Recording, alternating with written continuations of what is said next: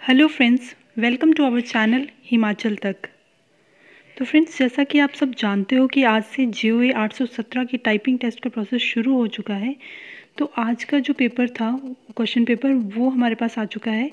तो मैं आपके साथ वो शेयर करने वाली हूँ, ताकि आपको उसके बारे में पता चल सके कि किस तरह का टाइपिंग टेस्ट आ सकता है आपको भी। तो सबसे पहले तो जैसा कि आप स्क्रीन पे देख सकते हो कि ये आज का जो क्वेश्चन पेपर था टाइपिंग टेस्ट के लिए, वो ये था।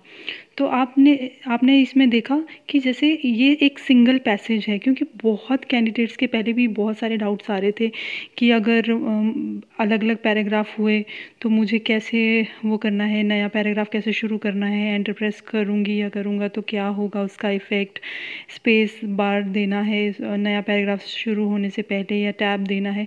तो जैसा कि आप देख सकते हो, यहाँ पे कोई भी अलग अलग पैराग्राफ नहीं है। जैसा कि मैंने पहली वीडियो में बताया था यहाँ पे एक सिंगल पैसेज दिया गया है एच द्वारा जो आपको टाइप करना है। तो सिंपली आपको टाइप करते जाना है और आपको कोई भी आ, हर एक लाइन के बाद एंटर प्रेस करने की ज़रूरत नहीं है। वो ऑटोमेटिकली शिफ्ट हो जाता है नेक्स्ट लाइन पे।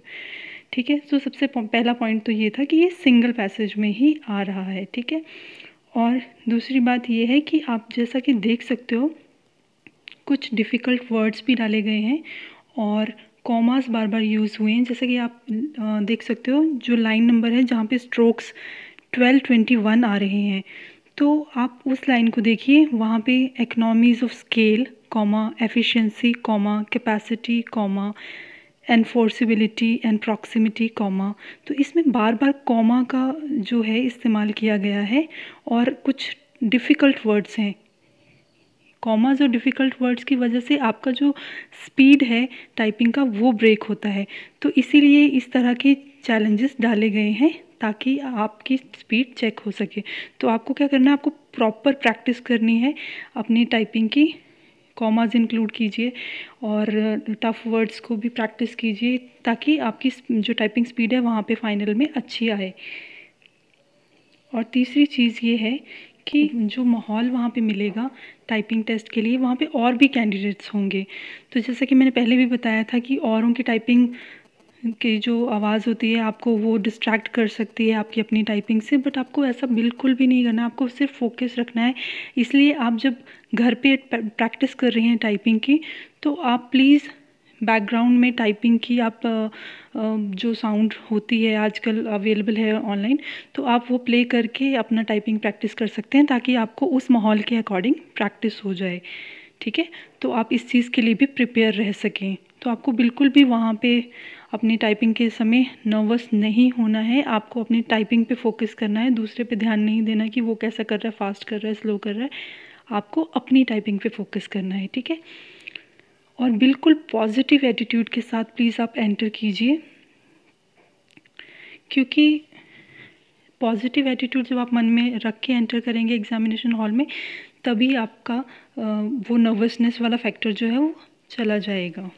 और एक और बात जो मैं यहाँ पे कहना चाहूँगी कि जैसे कि बहुत सारे कैंडिडेट्स का यही क्वेश्चन आ रहा था कि अगर हमने लाइन स्किप कर दी तो क्या होगा? कितने एरर्स कंसीडर होंगे? देखिए, आप इस चीज़ पे फोकस मत कीजिए कि कितने एरर्स काउंट होंगे, क्या होगा।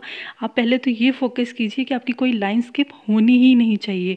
आप आप बिल्कुल भी कोई लाइन कोई वर्ड स्किप ना करें और लाइन ना स्किप करें, इसके लिए एक टिप दे सकती हूँ कि आप क्या कर सकते हैं। आप अपने जब आपको पेपर मिलता है तो आप स्टार्टिंग में ही लाइंस को नंबरिंग कर लीजिए। जब नंबरिंग कर लेंगे तो आपको एटलीस्ट ध्यान रहेगा कि first line I have typed and I have to type the second line ठीक है? तो आपको सेकेंड लाइन टाइप करनी है then third and then fourth and so on so इसीलिए आप नंबरिंग कर सकते हैं, ताकि आपकी कोई लाइन जो है, वो स्किप ना हो। और बाकी अगर आपकी स्पीड अगर थर्टी वर्ड्स पर मिनट आ रही है तो आप पूरी जी जान से प्रैक्टिस कीजिए, क्योंकि आपको थोड़ी इससे ज़्यादा बढ़ानी पड़ेगी अपनी स्पीड, क्योंकि जैसे कि आप देखते हो डिफ़िकल्ट वर्ड्स हैं कॉमर्स हैं तो ऑब्वियसली थोड़ा स्पीड वहाँ पे ब्रेक होने का चांस है। तो इसीलिए बेटर है कि आप अभी प्रैक्टिस कीजिए, ताकि आपकी, आपके टेस्ट के टाइम तक थोड़ी स्पीड और इंक्रीज़ हो जाए, ताकि आपको फाइनल में कोई मुश्किल ना आए। अगर कोई कॉमर्स भी ज़्यादा आ रहे हैं तो कोई दिक्कत ना आए। आप उस चीज़ के साथ प्रैक्टिस कीजिए, उस चीज़ के साथ फोकस कीजिए। तो मैं तो आपको यही गाइडेंस देना चाहूँगी अपनी तरफ़ से। पर्सनल ओपिनियन है मेरा ये कि आप इन चीज़ों को फोकस कीजिए जो जो मैंने आपको पॉइंट्स गिनाए हैं और अपने टाइपिंग टेस्ट के लिए फुली रेडी रहिए और फुल प्रैक्टिस के साथ जाइए। बिल्कुल आपका अच्छा होगा टेस्ट बस ये आपकी मेहनत पे डिपेंड करता है। So all the best to all the candidates from my side और अगर आपको इस जो आज का टेस्ट था उसका पीडीएफ चाहिए तो मैं आपके साथ वो शेयर कर रही हूँ। डिस्क्रिप्शन बॉक्स में लिंक देकर आप वहाँ से इजीली डाउनलोड कर सकते हैं और उसको प्रैक्टिस कर सकते हैं और उसी तरह के सिमिलर टेक्स्ट पे भी प्रैक्टिस कर सकते हैं। अगर वीडियो अच्छा लगा हो तो please like, share and subscribe our channel. And thank you so much.